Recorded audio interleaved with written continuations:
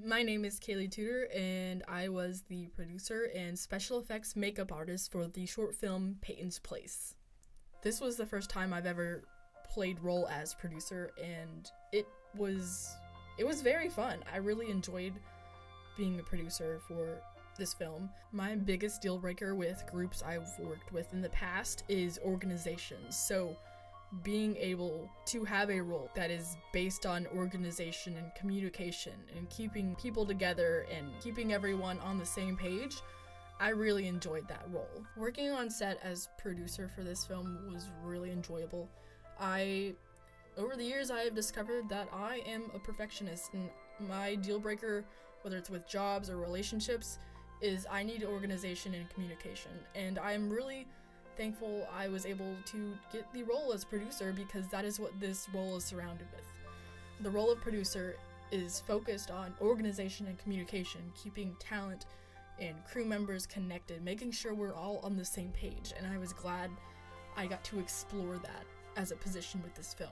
I used the film site SetHero. Um, this site is free to use. Essentially, you load up all of your data. So you would load up your your script, your characters and your actors, your locations, everything. And you essentially can build call sheets from that.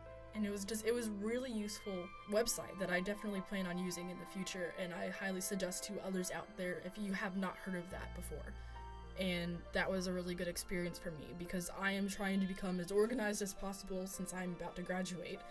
And as someone that is trying to start up freelance work in photography and film industry, it was really useful being able to take on the role of producer because I saw myself getting more organized. The role is all about organization and communication, keeping everyone on track, keeping the talent and the crew connected, making sure locations and everything is in order, uh, going over script, making all making sure all tiny details are squared away. Aside from working as producer, I was also the special effects makeup artist, and that was a ton of fun. In the past, I have taken a semester of a theater and stage makeup class.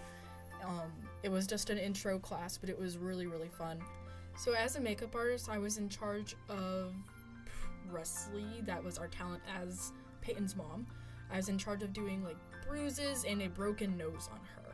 Um, we had two, three different types of bruises. One was like barely you could see it, so it was extremely faded. One, it was in the process of fading, so it was a little bit of an older bruise, and then one that was fresh. So with the newer, with with the fresh bruise, that was more of like dark reds and purples, whereas with the older, more faded bruises, I had to use like yellows and like light purples in order to blend it with her skin tone and make it seem like it had been there a lot longer. Um, what I enjoyed the most with um, my role as a makeup artist, I really enjoyed creating the broken nose. That was a challenge for me. I had only ever created a broken nose on myself before, and it was interesting to do it on another person.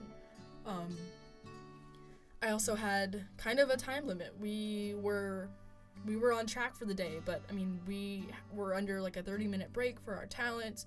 We were waiting on another person to show up, so I had a limited amount of time in order to make this look realistic. I was mainly producer and special effects makeup artist, but I also did take on occasionally some roles if we were short on PAs that day. So in some behind the scenes footage, you may see me working audio or like different things like that, or working as a PA and making sure the set is all set up and everything and things are in the right place where they need to be. They are a great set of people in general and great to work with. Every one of them is incredibly organized and creative, and getting to work with them through this project was a lot of fun. We would bounce ideas off of each other, we would catch each other when we noticed a, a detail that was out of place. As far as my team goes, I could not have asked for a better one working under Sage Ash was an incredible experience. She is an incredible director, very talented and very direct with her talent and with her crew members. She knows what she wants and she knows how to tell everyone what she wants. She knows how to get things across that is in a clear manner and essentially she does not play around. She knows what needs to get done, and she is here to do that. But it is also easy to see that this was definitely a, a passion project of hers. This is something that was very dear to her, and it shows through her hard work. I am grateful for this project because it has helped me grow as an individual and as a mass media professional.